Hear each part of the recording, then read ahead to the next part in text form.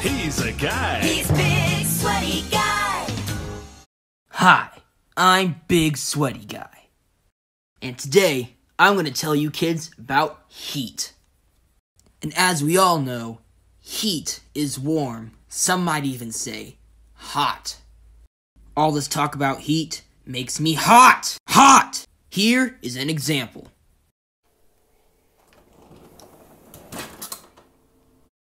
You see, this freezer is cold, but it still has heat, and that makes me hot!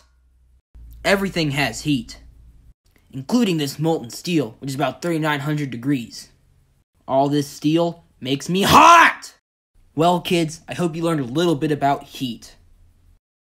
And remember that everything has heat, even this gym. And that makes me